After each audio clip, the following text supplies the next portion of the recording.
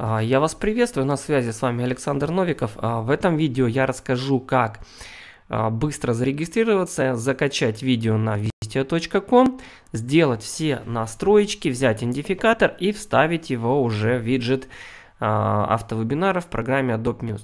Итак, смотрим. На главной страничке есть кнопочка «Быстрый старт» и есть кнопочка «Зарегистрироваться». Как угодно можете выбирать и то, и то. А, через регистрацию указываете имя, фамилия, ваш e-mail указываете здесь, э, сразу пароль здесь вставляете свой придуманный.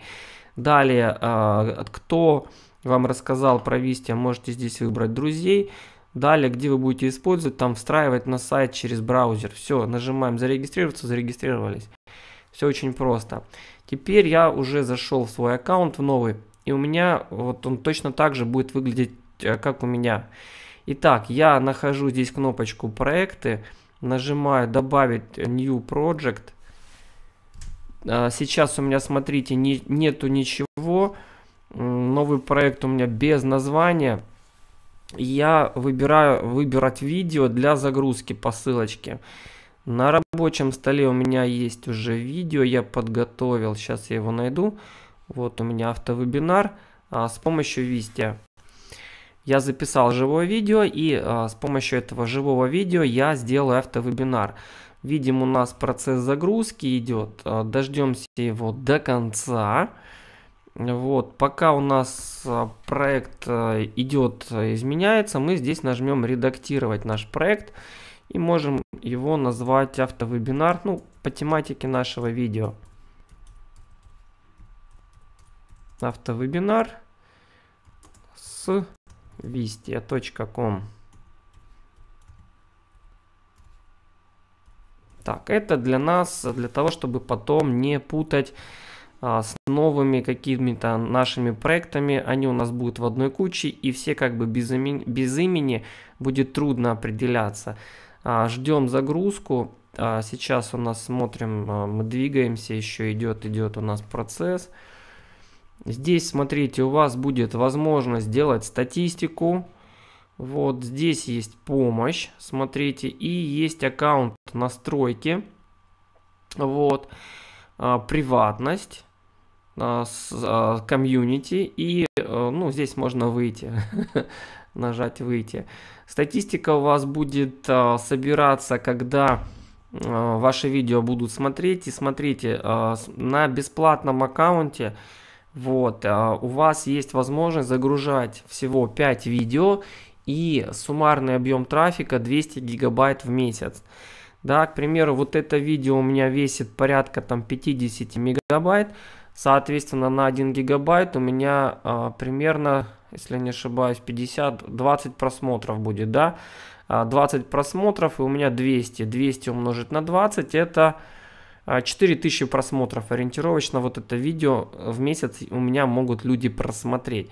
Очень круто. Все, смотрим, у нас оно загрузилось. Далее нажимаем на ссылку автовы, ну, на название нашего видеоролика.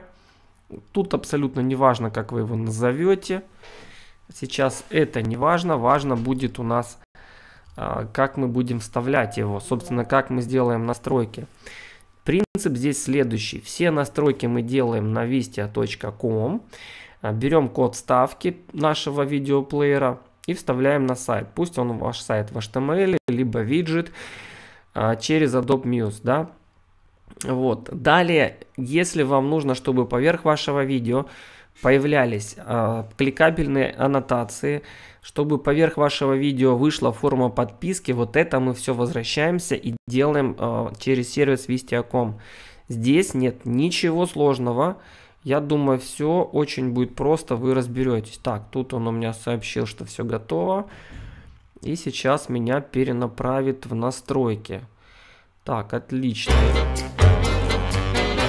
Так, это у меня настройки.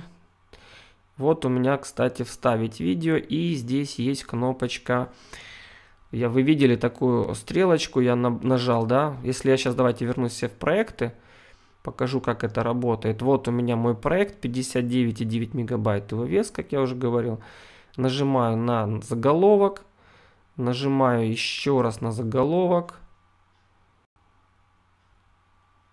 Так, у меня должно открыться видео. Вот, и видео, вот мы видим видео action, ну, движение, да, и вот такая вот у нас молния настройки. И переходим мы в настройки. Что здесь в настройках у нас есть? Давайте настроим дизайн нашей вот этой вот кнопочки. Сейчас она у нас серая. Давайте я ее сделаю голубенькой. Вот так вот оставлю. Далее смотрим. Э, комментарии отключаем под нашим видео. Они нам не нужны. Далее идем в панель контроля. Большая кнопочка видеоплеера. Вот она у нас. Оставляем ее. Маленькая кнопочка видеоплеера. Давайте опущу я, чтобы было понятнее, что у нас меняется. Вот, вот маленькая кнопочка это вот эта. Она нам, вот видите, она нам не нужна. Ну, хотите, можете ее оставить.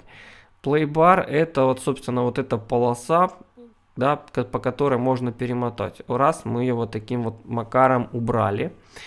Дальше можем изменить, убрать функционал громкости, можем оставить. Можем а, отключить людям возможность э, открывать на весь экран да, данное видео. Вот. И управление контролем. Ну, я... Если ее отключить, мы видим, все управление у нас уходит. Я оставляю. Да, у нас будет вот э, такая кнопочка. И вот эти вот управлялки у нас с вами остаются. Убрать логотип Wistia Banner можно только на платном аккаунте. Э, Banner будет вот здесь наверху полосочка. Ничего страшного, оставляем дальше. Смотрим, у нас есть э, социальный бар. Если мы его включим, у нас внизу, видите, всякие кнопки появляются. Честно скажу, они нам не нужны. Не нужны, поэтому здесь можете отключить все птички. Да, нажать кнопочку «Мо», «Больше» и тоже все здесь отключить. Но лучше проще нажать на кнопочку «On», «Off». Все, вот таким образом у нас под нашим видео ничего вставляться не будет. А, давайте теперь идем далее с вами. Сейчас я сверну вот эти вот. А, кстати, забыл вам сказать. Смотрите, мы можем запустить видео. В этом коротеньком видео я... Вот, допустим, я хочу, а, чтобы мое видео а, запускалось не сразу, не сразу с автозапуском, а чтобы мое видео вот останавливалась в начале и показывалась заставка, а человек сам нажимал на видео и запускал. Тогда, смотрите, я что делаю? Я, вот можно загрузить свою картинку, upload a new image, а можно использовать вот этот вот э, ключевой кадр. Вот этот вот ключевой кадр у меня сейчас сохранится, и он станет у меня э, заставкой на случай, если человеку придется нажимать. Итак, видим, у меня там процессинг пошел. Так, э, далее вот здесь у нас... Так, controls, control, controls. Что я тут пропустил? Угу. Все мы здесь настроили. Идем дальше. Вот. А, смотрим. Очень важный момент. С чего начать? Да, старт. Стартовать здесь у нас есть автозапуск. И а, вот как раз запуск с ключевого кадра. Будет показываться картинку, и человеку нужно будет запустить. Выбирать вам, что вы хотите. Далее смотрим, добавить аннотацию. Аннотация у нас вот будет появляться в правом верхнем углу в нужное нам время и исчезать опять же в нужное нам время. Как это сделать? Смотрим. Пишем сюда текст аннотации.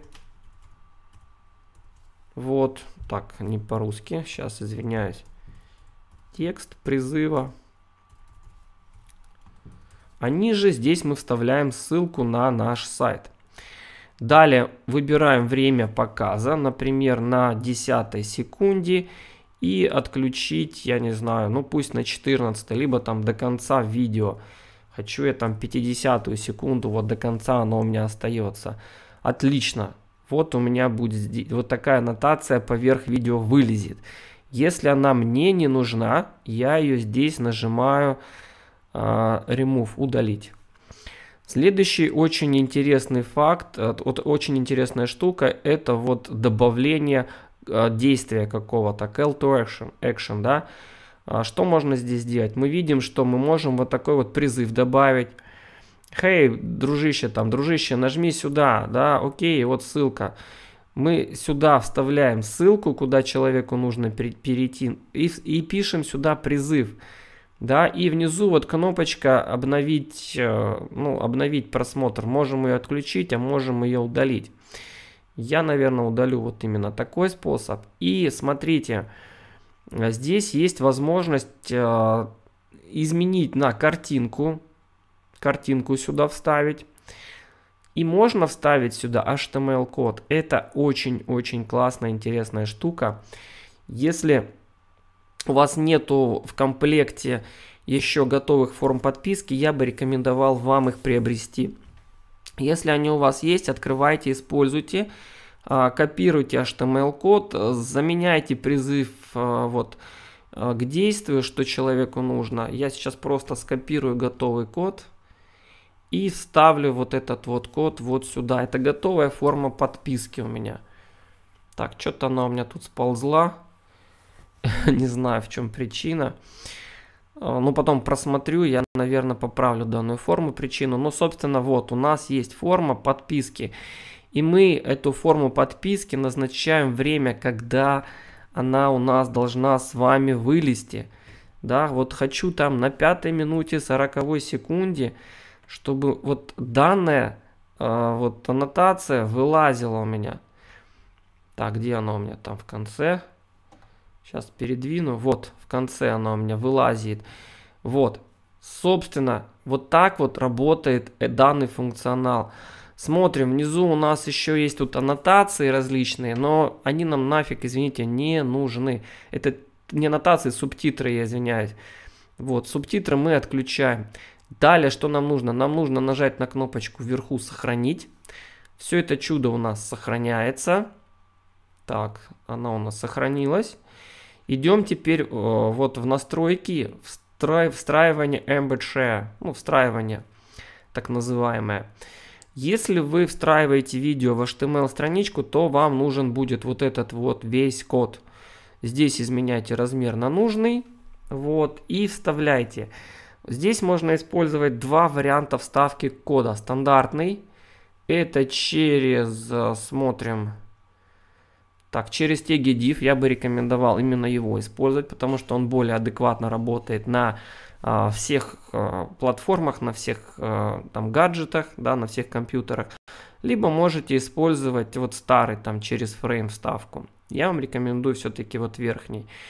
Если вы а, используете виджет автовебинара, вам просто с этого кода теперь необходимо взять идентификатор, где он находится. Находим вот ссылку Vistia, Embed Vistia. И вот, собственно, после нижнего подчеркивания, вот после нижнего подчеркивания перед фразой SEO фальш, вот наш идентификатор. Сейчас я его вам выделю. Вот, выделяем этот идентификатор, нажимаем Ctrl-C скопировать. Здесь мы не меняем никакие размеры, ничего нам изменять не нужно. Мы идем теперь в программу Adobe Muse, открываем наш виджет, да, и меняем идентификатор на нужный нам. Вот я поменял и вставляю, нажимаю Enter. Сейчас у меня видео подгрузится и изменится у меня, вот, видим, да, у нас произошли изменения, у нас встал виджет автовебинара правильно, да, если мне нужны какие-то дальнейшие настройки данного видео, опять же, я возвращаюсь на данный сервис. На данном сервисе нахожу я изменения настроек и делаю нужные настройки, нажимаю кнопочку «Сохранить». Все, на этом, пожалуй, обзор данного сервиса я закончу. Он не был достаточно сложным, здесь все очень легко исправить. Его функционал очень мне нравится, гораздо лучше, чем на YouTube либо на других каких-то видеохостингах, а, которые можно использовать для бизнеса. С вами был Александр Новиков. Если есть вопросы, задавайте, не стесняйтесь. Вот, а на этом я прощаюсь. С вами большое спасибо за внимание.